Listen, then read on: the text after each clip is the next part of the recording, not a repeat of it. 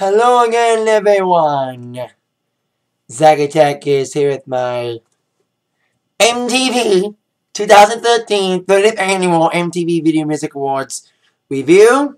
Um, of course, taking place tonight, August the 25th, from Brooklyn, New York, at the Barclays Center. My thoughts on the show tonight. Um, I've made a review for this in two years because I didn't get to see it live last year. I was busy, but I did make a little snippet about it on your tackling, but now I can make a full review of it. I always like to make full reviews of shows when I see the whole thing.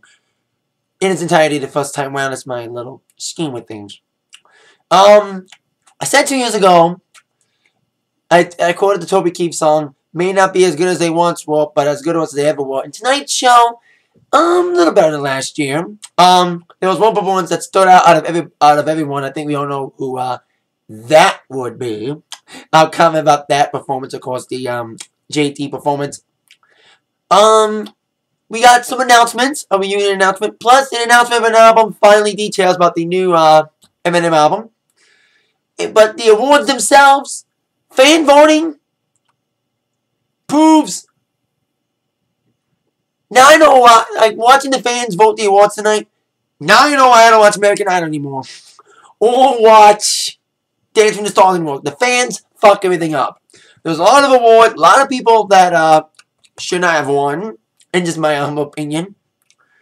Um, we had, of course, two big winners with three each, and one man got shut out. And I'll tell you why I think he got shut out. Um, the beginning of this downward spiral, because move through into uh, Robin Thicke. Um, best song of the summer. One Direction's best song ever got that award. Um, they won last year, and it, was it just me? Or were they booing One Direction when they got the award? Well, it's the Kevin Hart made some stupid ass jokes without commenting a little bit. But um, you know, I think One Direction got as loud booed as Jay as Justin Bieber did at the Billboard Awards earlier this year. Um, and of course, in my mind, Robin Thicke's the song of the summer. But the reason why I think Robin Thicke did not win any awards tonight, the song's overplayed. You know, I love Blurred Lines. I play it everywhere I go. Because Vampire Weekend, when they presented that award, they said that the song of the summer is that one song that you hear everywhere. Well, unfortunately, that was Blurred Lines. It was everywhere. You you couldn't escape it. It was overplayed. That's because I think people are sick of the song. So I think that's why I think Robin Thicke didn't win anything tonight. Um, there's a lot of people who won one award besides One Direction winning one. Uh, a lot of uh, people won one award too, including uh, Janelle Monáe in the technical for best art direction. Capital Cities winning for best visual effects, winning uh, one award and well. Uh, Pink, Just Give Me a Reason, that was a sign of fan voting. I like Just Give Me a Reason, you know, Best Climb I played a few times. It's a, it's a decent slow song, and I like the video too. But we all know Blue Line should have won, but like I said, overplayed. I like his performance though, which I'll get to when I come about the performances. Um, best rock video. I was stunned by this too. Uh, 30 Seconds to Mars. Um, waiting for uh, Up in the Air. I thought Imagine Dragons was gonna win it for Radioactive. I, I hate the song Radioactive. There'll be a lot of songs I say that I don't like them because you know I'm a disc jockey. I like playing the dancey songs, poppy songs. But people like Radioactive, and the video for Radioactive is one of the weirdest videos I've ever seen. You know, I compile videos for my show. I get videos for my show, for my DJ show. I play videos. I'm the only one who likes to play videos. No one else does play videos. That's what makes it weird that MTV does these award shows anymore.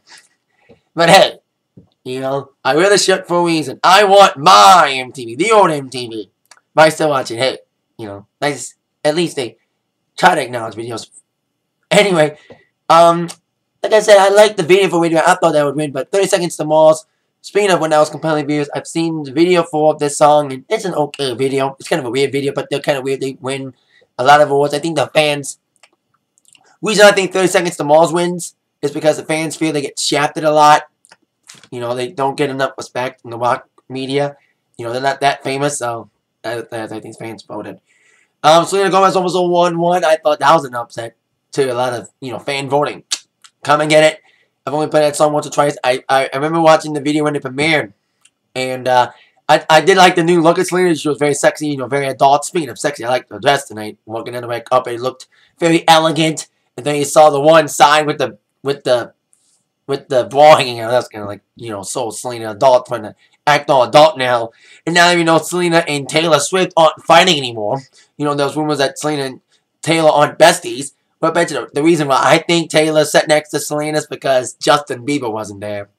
Speaking of Taylor, uh, Taylor also won Best Female Video for I Knew You Were Trouble. No, Kanye did not interrupt.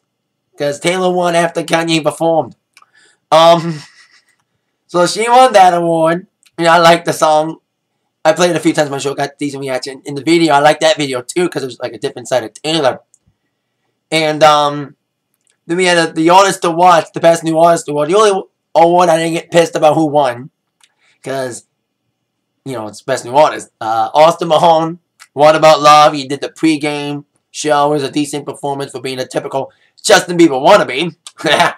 he kind of acted like Justin Bieber when he thanked people. And there was like no reaction for him. You know, got no applause. Um, then we had the people who won two awards. Um, we had, uh, Bruno Mars winning two. Um, I remember two years ago when I made my review for last, for the awards 2011, Bruno got shut out big time for Grenade. He won nothing, not even a technical. He didn't win a technical tonight. He won, um, Best Choreography for Treasure.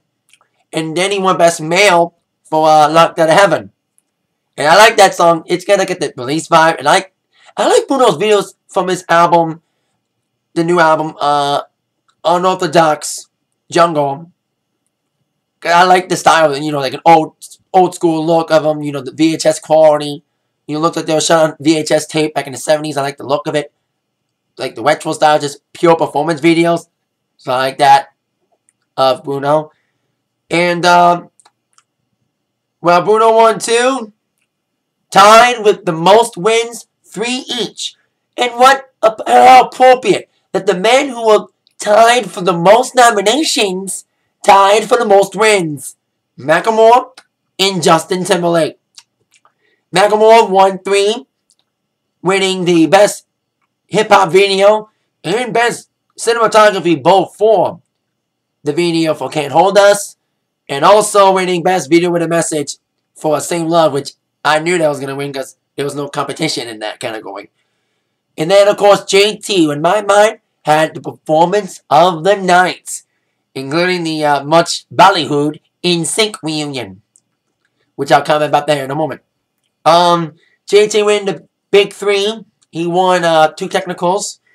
He won Best uh, direction for and Tie, but he also won Best Editing and, of course, the big one, Video of the Year with um Mirrors. Now, with this wins, these wins tonight, JT extends his most wins, 17 wins in his illustrious history, three behind Madonna. He came into this with 14 record wins, you know, career wins of 14, seven solo, seven NSYNC, counting technicals, and now he adds three more tonight, bringing his total to 17 total career wins. Now on to my thoughts on the performances. Like I mentioned, JT, performance of the night, he uh, did a medley of, like basically he did all of his, all of his songs in a medley. You know, like even a snippet of what goes around. You know, he did like, he, he kicked out with, you know, the Take Back Tonight and ended with sit and die. In between, he did Sexy Back and I think his mic, like his sound was, like his sound was good. I think his mic was like fuzzled, but I think besides that, it was a decent. It was he was performing. He had the longest performance in about 15 minutes, and uh, he he killed it. Man, I like the dancing in it. You know, he, he was a dancer in the group, and now he danced solo. And of course, midway towards performance, after he did, I think he did like a little bit of Senorita as well. He did like basically his entire fucking solo catalog. You know, he did Senorita, Like I Love You, Cry Me a River. And then, of course, came the moment that the entire world knew was going to happen. The worst kept secret of the entire VMAs, the reunion of NSYNC. Now, I'm a straight guy, but I'm a big boy band guy, you know. Like Zack Ryder, the WWE likes boy bands, and he's straight, you know. But, um, just to see those five guys together again, even just for two songs, that was the only bad part of it. Was only two songs. Just in your teeth. Reunion tour, baby. Um, seeing those five guys back together again, um, it was a sight to behold. I never thought that would happen because Justin's always the one guy that would say no, that would never happen. And push away his ego, for that performance as part of his winning the Michael Jackson Video Vanguard Award. Nice to see that they kicked off with like he like segued with a snippet of Gone in the background, and the four guys popped up, and you know did a little bit of girlfriend and ended with bye bye bye. I think Lance might have missed a step, but it was nice to see those guys together again. You know, JC, God, I like JC too, but just as my, been my favorite member of the group. But uh, you know, JC was, I, I, it was nice. Like I said, it was just. I bet you everybody was just buzzing. I was on Twitter during the performance, and just everybody on Twitter was just buzzing about this performance. I said on my attack line, I said, if JT wants to tour sync, do the reunion tour, which they'll make lots of money. Um, if he would ever commit to something like that, he's got the solo tour to do. So who knows if he would be able to do it, maybe not till next year, but at least the thought is there, you know. The the sprinkles of the reunion tour is there. Um besides uh JT's performance uh being the best, uh performance, I got my own little awards. I did this two years ago. I got my own little awards, my own fake awards. Um, best comeback performance. Well, besides NSYNC. uh, best comeback performance. Uh, Lady Gaga. Uh, Lady Gaga opened the show tonight. Two years ago, she opened it with uh, You and I. Uh, this is the, I think this is the performance we're waiting for. You know, outrageous costumes, you know, to like many costume changes. She had this one this all black thing, you know, this black bodysuit and this black thing to cover her hair up. You could put wigs on, and she kind of like, you know, made fun of the critics with her dressing up in different looks, like the the uh, the poker face look with the wig, and she had the look of the the Monster Ball tour. She walked out first things first. She wore like this big white outfit with this big box around her head. When she walked out, and then she like walked out like she was in a fashion show, and the sound effects were saying like, oh, not her again. You know, all the critics. That's what this uh, song applause is. A diss to all the critics, especially Perez Hilton, who uh, once again lit fuel into the fire of their fear by calling Gaga's performance disappointing.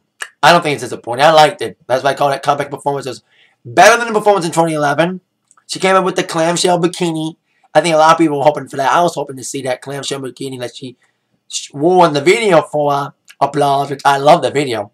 And I think that may a big that may be a big shooing to win some big awards next year to be amazed. But um, I liked it. It was a great opener, you know.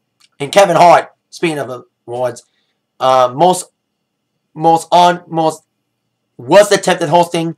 I presented the same award two years ago when I did my Fink Awards when I reviewed the uh, award show two years ago, and most failed attempt at hosting went to Kevin Hart then. And once again, failed attempt to host was attempt to host Kevin Hart again. I know he hosted last year, but he just wasn't funny. Especially the jokes he made about NSYNC reunion. He was like, Justin, I love your performance and all, but those guys of NSYNC, were they overweight? Did they gain a few pounds? You know, I thought they were out of breath. And then he said, like, you know, I thought Joey farted. You know, the jokes, and I'm glad there was no reaction. You know, he got booed with those jokes. It was just what it was right after the reunion performance, and and then like Kevin did a cop out after he made fun of Joey's phone. He's like, but Justin, yeah, Justin, I love you, but NSYNC was overweight. You know, it was kind of, kind of stupid. And he came back, like I said, a cop out and said, I still love you. But uh, it was kind of stupid. Um, you know, it's just unfunny. Um, best diss to an ex-lover. Taylor Swift, when she accepted the best female video, she's like, to the guy who inspired this video, I thank you because you got me this. You know, many rumors are flying that I Knew You Were Trouble was about uh, Harry from One Direction. So that was kind of a little kiss off there, and uh, there you go. Uh, most insane performance. Um, that would go to Robin Thicke and Miley Cyrus. Now, it's just me or Miley Cyrus was on something. I know she's not 21 yet, but like she came out first doing her song uh, "We Can't Stop," and the performance was just as crazy as the beanie for "We Can't Stop." You know, she came out um, wearing this, you know, it was like full of teddy bears. The video was full of teddy bears, like dancing teddy bears. She wore this like this onesie of uh the teddy bears, and boy oh boy was there a lot of twerking. you know, that's Miley's new thing, twerking. You know, and boy oh boy, she was twerking a lot and humping, twerking, humping. The Humpty Dance is Miley's chance to do the hump. Do me, Miley. Do the Humpty Hump. She was doing the Humpty Hump all right. And then after the hook song, you know, doing a little bit of We Can't Stop. And I think they bleeped Molly. You know, it's not Molly, it's Molly. You know, dancing with Molly. not dancing with Miley. And then she whipped off her outfit to reveal like a clear plastic onesie, like like the bikinis that the models wear in the Blurred Lines video. And that segue to Robin Thicke. She even duetted with them on Blurred Lines. That sounded pretty good though. I like that performance. Even though she was kind of like humping everything, putting her hand on her crotch, thinking she's Michael Jackson. Well, she kind of thought she was Michael Jackson because one, she was grabbing her crotch a lot and humping people. Maybe not the humping part, Michael, but two, she wore like a glove, like a little, like a little glove. She was like, she was humping anything and everything. She was like, you know, like humping, like, and you know, crazy Miley, you know. You think she's crazy when she isn't 21? Just think what happens when she is legal, you know. And her mom was there. And then after they did the duet of Blurred Lines, Robin went straight to his new song, Give It To Me, which I kind of like, hope that's a good hit. But doesn't get overplayed like Blurred Lines did. Like I said, why I think Robin lost all the awards, because the song's overplayed. And he kind of recreated the video with all the floats. You know, I didn't see, I haven't seen the video yet, but Give It To Me. I know it came out a few days ago. I haven't seen it yet. But I know there was this giant ass float, and he kind of replicated it in the performance. So, uh, kind of like that. So it was, it was kind of a sexy performance, but it was crazy because Miley was just humping everything in sight. You know, she was high on something. She wasn't drunk because she's not 21 yet, but she was a little crazy tonight. You know, that's that's Miley's thing. You know, Miley wants to, you know, really separate herself from the Disney era. Boy, oh boy, that she really did away with the Disney era with that performance tonight. So uh, there you go. Uh, most powerful performance. Going to Macklemore, Ryan Lewis with uh, Mary Lambert. Now, I as much as I would have loved to have seen him do Thrift Shop but Can't Hold Us, I know he is the only guy in history to perform at all three major MTV Awards in a year. That's why he had to do, because he was at the the uh, Awards for MTVU. He did Thrift Shop there. He was at the Movie Awards this past April. He did Can't Hold Us. And now he's at the VMAs this year. Only all, three major MTV Awards in one year. And he did Same Love, which, like I said, won Best Video and a Message. And the performance was very simple, you know, simple staging with the American flags, you know, has a curtain raising up. It was just him and a band and Mary Lambert, and then the surprise appearance by uh, Jennifer Hudson near the end of the performance. It was just, you know, the message is awesome, and you know, because I've said it before, I'm a, uh, I have a friend who's a bisexual woman. I, I'm not prejudiced. I'm not homophobic at all. I support all people, no matter what your sexuality is. Especially when uh, Darren Young came out recently, a WWE. I watch wrestling. If you don't, if you haven't watched my videos before, I make music reviews, and I'm a big wrestling fan. And one of the wrestlers, Darren Young, came out, and I supported him because, I guess I'm not prejudiced. And that performance, especially with Gaga in the crowd, a big gay rights advocate, you know, she was applauding, especially when Macklemore made the speech when uh, he won the award for best video with a message. So uh, it was just the message is awesome. You know, a good message, and it's just you know he's not just known for the thrift shop song. He's on the cover of Rolling Stone this week, and I read the article, and he didn't want to be the thrift shop guy because Psy, he didn't want to be the new Psy. You know, just known for that one song, Gangnam Style, but at least he got enough things to carry him on into to not being called a one hit wonder. He's a three hit wonder. Especially if Same Love the message is there and that performance was very powerful. I thought he deserved a standing ovation. JT got a standing ovation. Macklemore should have too. Um the perform I got the um the um the award for most unnecessary performance, Kanye West. Now, I know a lot of people may say that Kanye's performance was the best of the night. You know, even JT said Kanye killed it. Um, not so much for me. Um, not the biggest Kanye guy. You know, his music is just undancing to me. Um, he did a Skinhead Jesus. I forget the song he did, but uh, it was a song from his album Yeezus. And I didn't like the effect though. The effect of him like standing in front of the house and it was like a, it was like all dark. You know, he's like a shadow. Um, I didn't like that. It was it was a decent performance. Uh, to me, it was okay. It was kind of like interesting, but I, I just didn't like it that much. Personally, it was just okay. Um, Drake's performance as well, like like Drake and Kanye were just, you know, they were just okay. Especially Drake's came in the point of the show that I think everybody did probably did the same thing. I didn't do it, but I bet you a lot of people watched the NSYNC reunion, then changed the channel, and after the NSYNC reunion was like nothing else was happening, you know. And Drake was doing that, and uh, Drake's performance was just a typical hip hop performance, doing a little bit of his new song "Look Out Coming" while recreating the album cover without the baby for his album. Nothing was the same coming out in a couple weeks. And then he went to start from the bottom, and he had like fake little little fireworks going on. It was just a typical hip hop performance. Um, I gave up like, there was two fake awards I presented during the uh, VMA review two years ago and I presented to the same people tonight. Um, I presented the worst attempted hosting in 2011 to Kevin Hart and presented it again to him this year. And I also presented good performance, but should have picked a different song. That award also went to uh, Bruno, and once again, winning the good performance, but should have picked a different song award was Bruno. Now, I knew that Bruno was performing his new single tonight, but I kind of wish he did Treasure, though. That Treasure, Treasure Live would have been killer. You know, with the choreography, that one best choreography. I like that video. But the new single is Gorilla. And it's just a sex jam. I didn't like the laser effects. You know, the laser effects was cool, but you know, I just don't like the song. It's just not dancey at all because, like I said, with this track, I like dancey songs. I hope he releases a dance remix for it, but uh, it's just a it's, just a slow sex jam in, in the style of Prince. You know, I liked it, but it's just you know, for DJ purposes, I just don't like it that much. So uh, there you go with that. Um, with the my thoughts on the uh, performances this evening, in my opinion, and uh, so there you go. But besides the um performances. Uh, they only did an hour show for the uh, the pre-show with Austin Mahoney performing, Mahone performing. I always say Mahoney, but it's Mahone. And Ariana Grande doing her Mariah Carey impression again. You know, try, she's trying too hard to be Mariah Carey. She tries to hit those high notes. Like she was okay and all, but you know, stop trying to be Mariah Carey, sweetheart. Anyway, um, when it comes to red carpet, um, I like the Gaga's dress on the red carpet you know, the, the on black, you know, the black, the long black dress and the black hair.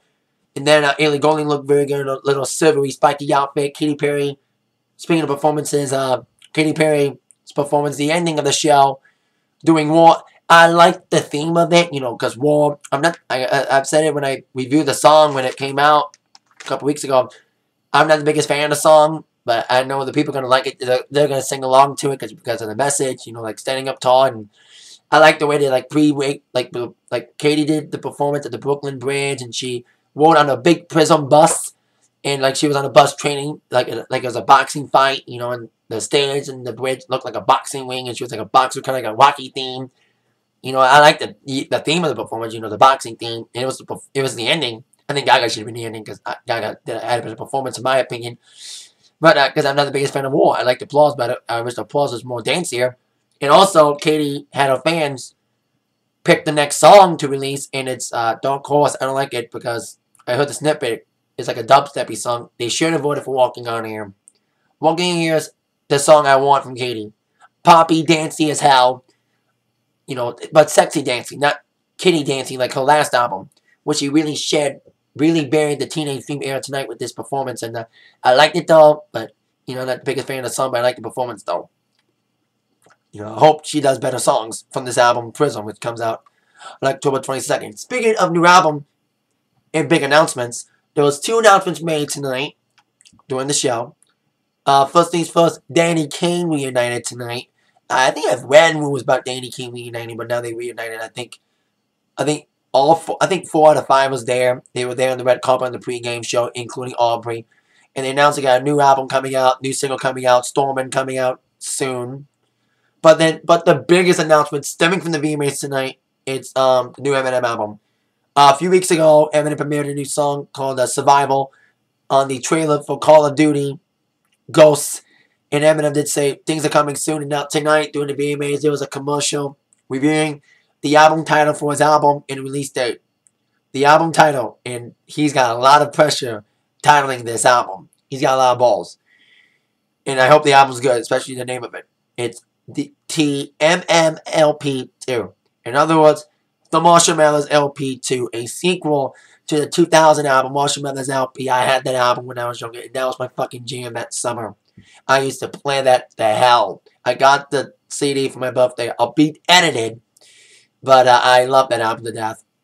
I used to love Kill You, and that's what, like, he's got a lot of pressure doing it because the album comes out November 5th, one week before Lady Gaga, so Thanksgiving shopping season is going to be huge. Black Friday is going to be huge. With Gaga and Eminem both releasing albums one week after the other. And, uh, um, I liked Recovery, but there was no songs like an ass like that. There was no funny dancey songs like a Without Me. You know, there was none of those songs in there. I know I, I played the songs to hell, you know, because people requested them at, at, my DJ shows. You know, requested um, Not Afraid a lot. And, of course, I Love the Way You Lie before I got overplayed as well. But um, with him releasing the album titled Marshall Mathers LP2, he, he better step it up. You know, he better recreate that magic with the songs. He did a com another commercial tonight. That was like that sample Billy Squier song that sounded pretty good. And survival's okay, but I just hope he comes back strong on this album. That he really, really delivers songs like Real Slim Shady again, really poppy dancey songs again. You know, if he's releasing Marshall Mathers LP he better step it up, man. Because Marshall Mathers LP was the album that made him a superstar. You know, the album got him so much controversy about his homophobic things, you know, in this day of Macklemore being all about gay rights. You know, I think Eminem's changed his act too, but still, I don't think Eminem is going to be back to his old ways, like really dissing people. But I think just try to recreate the old sound. You know, try maybe to do a Real Slim Shady Part Two. If you do, if you're doing a uh, Marshall Mathers LP two, try doing a Real Slim Shady too. You know, poppy dancing, funny songs again. You know, we want the funny Eminem. You know what I mean? Not this like the serious Eminem's cool, but we want the funny, we want the fun songs again. We want ass like that. We want shake that ass me songs again. You know, just fun Eminem songs, especially if you're doing a Marshall Mathers LP too. Step it up, boy. So there you go. That's my thoughts on the awards show. Uh, that was better. It was decent. I think it was better than 2011. Better, kind of better than 2012, but you can tell people kind of bored. Like after the uh, after the JT performance, the show kind of died down. You know, especially the the the bullshit voting. But like I said, you know, Robin Thicke got shut out, and I believe he got shut out just because the song's overplayed. That's why I think he lost tonight. In One Direction fans, I knew they were. I had a sneaky feeling they were going to win the award for best summer song, even though they don't deserve it. I played it a few times, but Robin Thicke was the real song of the summer in my mind. But it's just because it lost because I got overplayed. And Taylor, I thought Taylor was going to be video of the year, but Justin won it because I thought her fans were going to be, her, Swifties were going to be big, but JT fans are bigger too. Bigger than Taylor's fans. So there you go. That is the, um, the VMAs. Comment your thoughts below. I haven't said that in the video in a while, but comment your thoughts about the show. What was your worst performances? What do you think about Gaga's performance? Like, Gaga's performance tonight, it's kind of like the performance in 2011. People are going to love it or people are going to hate it. But I liked it. Um, what's your favorite performance? Did you like the NSYNC reunion? Do you think Justin was teasing us? Do you think there's a full reunion tour on the way? Who knows? With NSYNC. But uh, like I said, I love seeing them back on stage again. Just to see those five guys again, and it looked great, despite Kevin Hart's distasteful jokes. Um, so there you go. I know I like Rose Turbo because I'm a fan of people like Anthony Jeselnik, but come on. That was just bad, Kevin. Uh, that is it for my uh, MTV Video Music Awards review. I still watch. That's the only time I watch MTV anymore. I only watch MTV for VMAs because I hate their shit. I make fun of their shit. I make fun of Jersey Horse. And they're doing another Teen Mom. Oh, God, I fucking hate that show. That's why I wear this shit. Because I want my MTV. The old MTV. Where they actually played videos. Damn it. Like every watch, they always, like, doing every VMAs, they always make fun of, you know, MTV should play more videos. You know, it, I think it became a recurring joke that they stopped saying it because it just got old. The joke got old. Like I said, that's it for my review. Thank you all very much for watching. With that in mind, you've all been attacked by the review from Zak. Uh, thank you all very much for watching. See you all later. Have a great night, everybody. Stay cool out there with this hot weather, the heat wave. Summer's back in town, only for a few more days because, you know, Labor Day is coming. Have a great week. Have a great night. Yeah, yeah.